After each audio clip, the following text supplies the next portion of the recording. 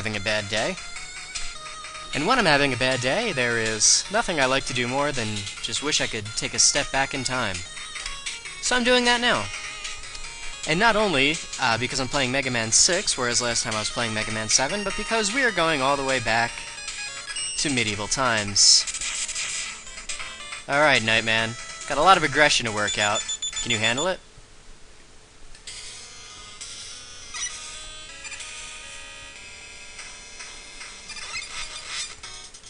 This stage is giving me a lot of trouble. That's right, Outtake fans. You're in good hands. Believe it or not, this is actually one of these stages from Mega Man 6 that I practice the most. Not that it's doing me all that much good. For some reason, the main trouble that I'm having is the inability to slide reliably. I honestly don't know what's causing it. It worked there. But once out of about every three attempts, the slide just doesn't work and Mega Man stops dead. That really does throw a wrench into things, as you can imagine. Might be something to do with the emulator. Might just be something to do with the fact that I'm a little uh, preoccupied as I record this. Whatever the case, we're gonna have to just deal with it. Few rooms here without any serious troubles, but let's not be lulled into a false sense of complacency. We have these guys to deal with again. And they behave almost exactly like the octopus from Mega Man 9. You have to shoot the body to make the head pop up, and while the head is up, you can inflict your damage. It makes timing this area, well, really important to be precise.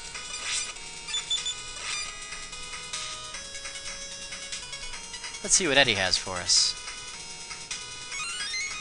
An E-Tank. Looks delicious. Thanks, Eddie. You can actually hear Eddie teleport out of there, which I believe uh, this is the only time in the series that you could do that. Pretty neat. Whoops. Well, you're going to be seeing a lot of him, I guess. Yeah, he's kind of a pain. You want to take him out safely. If you shoot him once, his glasses come off and he becomes enraged. You have to shoot him again to kill him. He's a lot more difficult to deal with when he's enraged, as you can imagine. Oddly, even if you hit him with a charge shot and it does double damage, he still undergoes his transformation after the first shot, and you have to hit him again. Here's why we took out Blizzard Man. Ah, uh, last thing I need right now is the 1-up.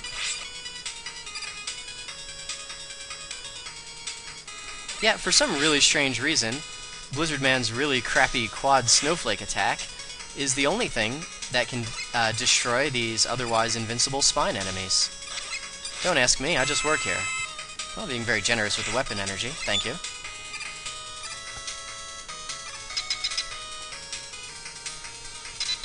And with that, we're through to Knight Man, whose weakness is the Yamato Spear. I'd like to say we're going to exploit that, but really, that's kind of up to Knight Man. A lot depends on what he does first in this fight. He can very easily corner you.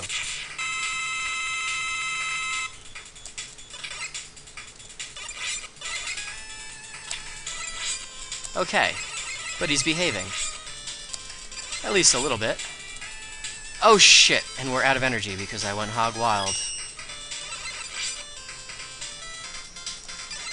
Please, please cooperate.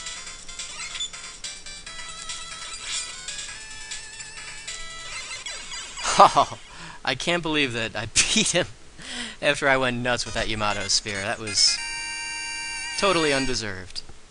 But you know what? I ain't complaining. Yeah, I had a bit on my mind today, and you'll see from the outtakes that this sage wasn't really willing to go too easy on me.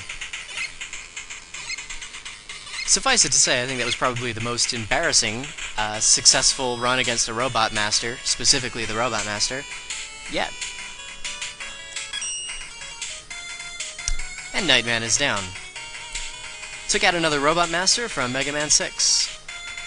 Feels pretty good. Not really sure if I can do another one, but it's probably worth trying.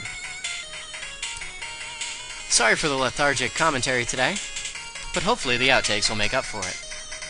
Thanks for watching.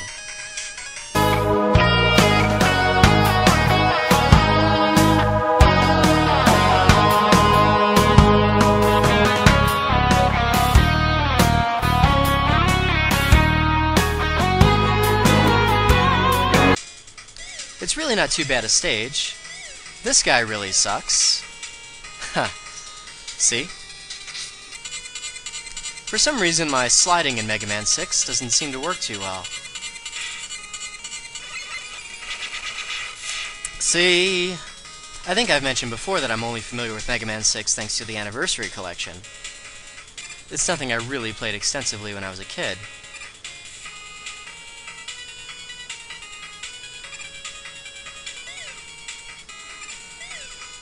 Ah, alright, how do I get through this? Oh, that, okay. Remember that guy who was no trouble at all? Meet his cousin. He's an asshole. Yeah, this is actually pretty tough. Timing really is everything. Oh! He's kind of like the pop-up pirate game. You can only hit him when his head's sticking out. So you want to shoot him and make him stick his head out. For some reason, the sliding isn't very responsive in this game, see? Fuck. We are through to Knight Man, who is weak to the Yamato Spear. And let's see how he treats me. This could really go either way. I never seem to know what he's going to do at the beginning of the fight. Believe it or not.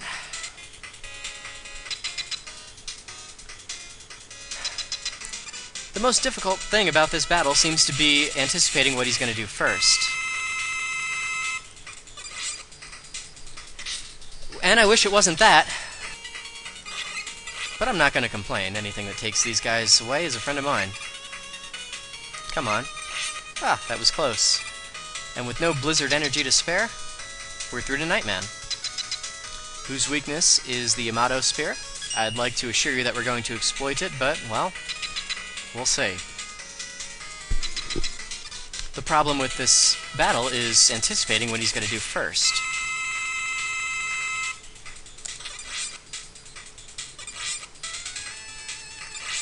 Oh, god damn it. It's actually pretty difficult to handle this guy. A lot of it depends on what he does the first thing in the fight, which is pretty tough to anticipate. Fucking slide! Okay, now this is not an outtake. Instead, I would just like to explore the world behind this very conspicuous cracked wall. We couldn't do that in the main video because we didn't have this. This is the rush adapter that turns us into Power Mega Man. You get that from defeating Flame Man. As Power Mega Man, we could just punch a hole in the wall. How manly. How mega manly. This actually leads us, it's a very short branching path obviously, but it leads us to the real Knight Man. Those of you who haven't played Mega Man 6 may not be familiar with the fact that uh, four Robot Masters are actually encountered um, in real and fake versions, Knight Man being one of them. Now when I recorded this video originally, I was not in a very good frame of mind. I wasn't really paying attention to what I was doing or giving much thought to anything. So I just spammed the Yamato Spear. That wasn't really very stylish. So let's explore this as a bit of an emotional branching path as well, and see how the fight goes when I actually use my brain. It's the real Knight Man this time, so I think he deserves my attention.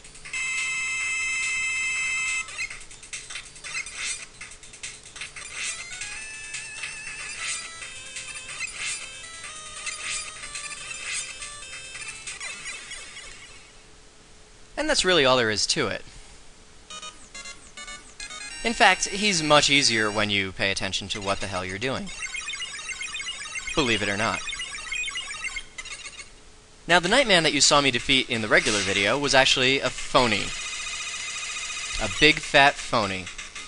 This Knight Man gives us not only the Knight Crush, but also the Beat A parts. B, E, A, and T are the four types of beat parts that you get in this game, as you can, you probably could have guessed. And you'll see now that we've defeated Knight Man that the A is visible it shows that we recovered the parts as well. Blizzard Man and Flame Man don't have fake counterparts, so they just get a little happy face. I know they're one-ups, but I prefer not to acknowledge them. Yamato Man is blank, because we only defeated his fake. We did not actually defeat the real Yamato Man. But we'll probably worry about that another day. Anyway, that's that. I just wanted to show it off. Well, what can I say about Knight Man? I do want to apologize for the tone of the commentary. I was just feeling a little bit blue, and I thought I would do this to sort of cheer myself up. It worked, but, you know, the recording might be a little less than sunny, so I apologize for that.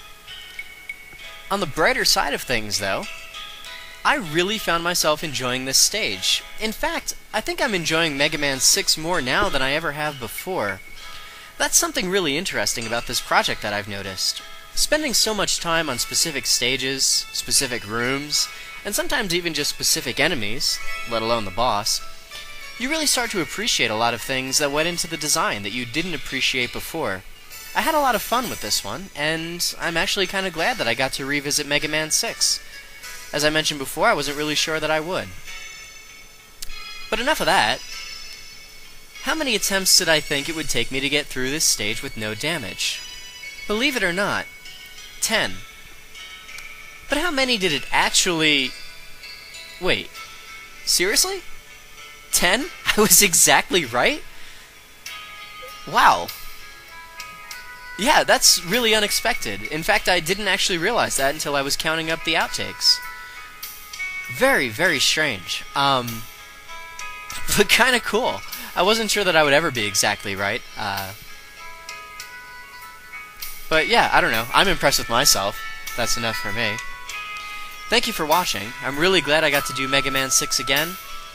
And tune in next time. We've got another one, not of my favorite Robot Masters, but certainly a stage that was really fun to do. I hope you enjoyed, and I hope you continue to enjoy. Thanks for watching.